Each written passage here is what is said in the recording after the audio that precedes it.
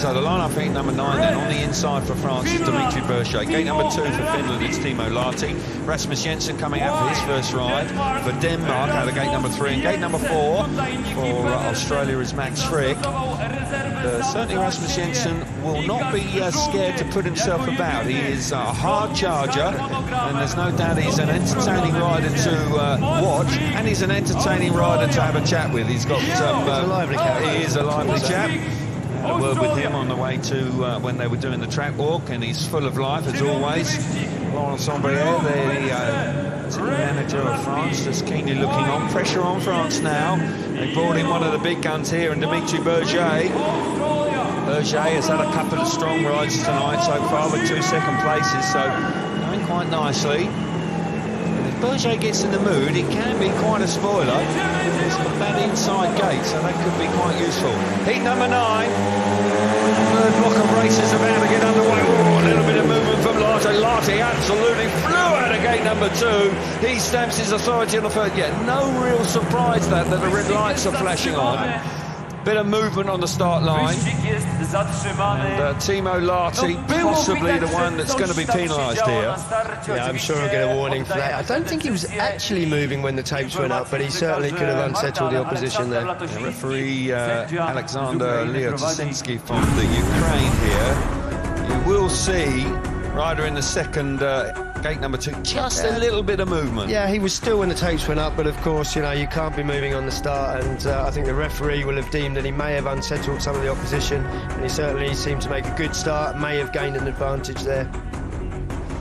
Yeah, I'm not sure that um, uh, Berger would have been put off because he's looking the other way, but um, uh, we're hearing it confirmed now that uh, Lahti will now carry a warning throughout the rest of the evening. If he does something similar, uh, he will then be excluded. So it's um, pretty draconian rules now for riders on the start line. Um, but I think probably was pulled back as a consequence of him making the start, Chris. Yeah, I, yeah, I agree with you. He wasn't actually rolling when the tapes went up, but he made the start. So that was that was um, uh, probably the reason the, re uh, the red light came on. Only a minute now allowed for riders to get back to tapes for the restarting. Can we have a countdown, please? Race. Phil Morris just Can we have a countdown, please? 10 seconds. Oh, that's uh, going to be hurry up for Rasmus Jensen. This is going to be very tight indeed. Eight, seven, proper countdown here. Just about going to get there with two seconds left. Wow, that was tight indeed for his first race of the night. Heat number nine, second time of asking. Nielsen still takes up.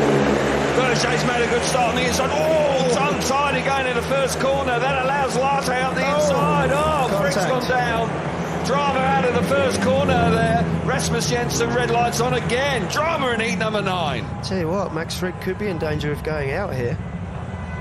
I'll have to see it again. Didn't see if there was any contact, but certainly there was contact, but it will be hard on Berger, I think. We'll have to see it again. But uh, being the exit of the first corner, uh, the referee could well exclude Fricke here. See it again, Chris. Yeah, Fricke coming off the outside gate four there, and uh, the rider there, Berger, just gets a bit of grip, comes across the corner. Now Max Fricke's having a run. He gets a bit of a nudge from Lahti there, but anybody. I tell you what, it would be very harsh there on uh, Dimitri Berger because he did get a little bit of a nudge from the inside as Lahti came through there. So, uh, yeah, we're hearing it's all four riders. I think that's the right decision, Kelvin. Just see there, Berger just being eased Yeah. out of the way by Lahti, and he had no choice. And the right decision made by the referee there. All fall back. We want to see four riders in a race. Absolutely. Tense times here in Speedway World Cup semi-final number two. Look at that bunching up there. Berger a little bit all over the place initially. Yeah, he dealt with it though, and that, that obviously wasn't the problem. It's just here when Timo Lahti comes through, just moves him over. At the same time, Max Fricke is looking to cover the inside and stop the run up the inside of Rasmus Jensen and uh, coming together. But it is the first turn. I think it's uh, it's the right call. So we'll uh, see it again. Dimitri Berger, of course, a former world on-track champion, has ridden very well for France in the past. He was uh, terrific in the Manchester a couple of years ago in the Speedway of Nations, and is uh, certainly got uh, something about him. He can be a little bit up and down at times, but uh, when he's in the mood, I can say that Berger is uh, capable of winning races anywhere, anytime. So he's got a, a second opportunity. Max Fricke just uh, taking his time. There's the position we've got after eight races. Three points in front for Denmark, who are really going along nicely tonight. Australia under pressure. They will not want to go to the race off Australia. It's going to be a tight tussle. I think that's going to go all the way. It's not over, that tussle. No, no question that neither of these teams uh, want to race on Friday night. That's going to be a very, very tight one. In the past, some of the uh, race-off meetings uh, in the Speedway World Cup have been truly outstanding. Quite often, sometimes the best extremely competitive. Yeah, and uh, Team Sweden are there, of course. Uh, with the Czech Republic already. Max just having his helmet checked as he had a bit of a thump on the track. Yeah, um, uh, safety first, of course.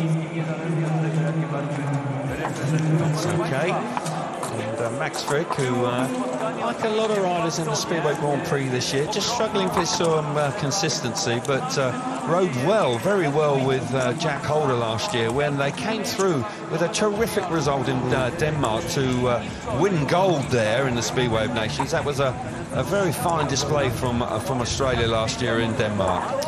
Yeah, I don't think Max will let this unsettle him too much. He's a, he's a pretty understated, fairly laid-back sort of character. He'll keep his calm. Uh, team obviously working very Guys, hard to get you're taking too right long. You have to go on this. If you haven't got that ready, it's been like four minutes. If you haven't got the people to do it, you're going to have to go on that bike, sorry. Mechanics haven't got the other wheel ready yet. Sorry, Max. They haven't even changed your front wheel, mate. Yeah, well, based right to there, Phil Morris calling the shots. It's uh, you need to be more proactive right. With it. so you know? much time you can give the team there. Yeah, they're under pressure here, Australia. Uh, they're behind, three points behind Denmark. Uh, one of them big hitters here in uh, certainly having to work furiously hard. They, they've changed bikes already. He didn't like the first one, so he will, will not be best pleased to have to go back out on that. Um, uh, they're working furiously hard to try and get that bike uh, ready for the restagings of uh, the race. So no, they can't um, give them much more. It's like, what, what, what's happening now? What are they doing?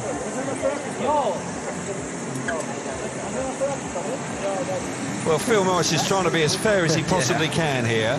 Um, the other bike is ready, but uh, clearly want to get that uh, bike that was chosen for the race originally ready for the rerun. Guys, I think they're going to just about do it. Go on. Sorry, guys.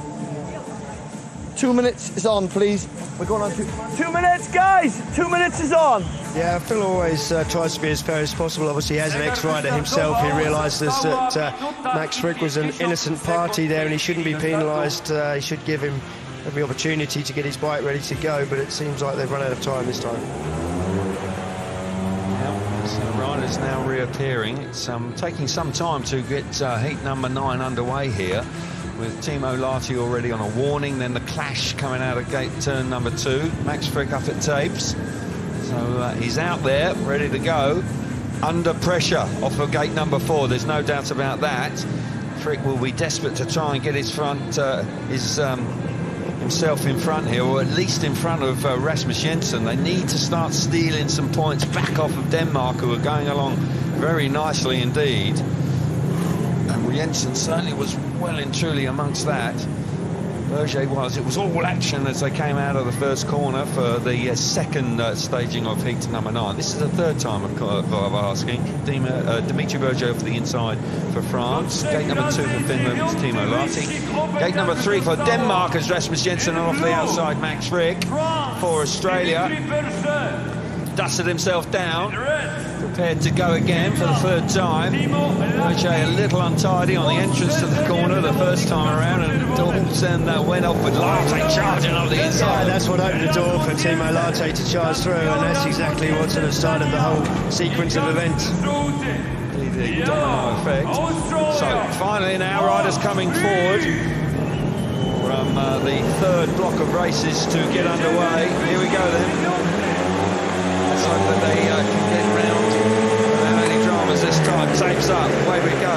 Certainly Lahti's made another good start, but Berger forces his way through there. There's tight there with Rasmus Jensen. Fricke certainly coming through, but Jensen certainly was very nearly running in the back of Berger. Here comes Lahti on the inside. Oh my goodness, how on earth did they avoid each other? That was a strong move there from Timo Lahti. But out in front, Berger, who's had a couple of second places already tonight, going great guns for France. Yeah, Dodgeham's on the opening laps here in Heat 9, but it's Berger. What a great first turn from him. Didn't actually make a clear start, but he just was determined to get to the corner, almost ran his wheels over the white line and got himself to the front, and he's not looking back.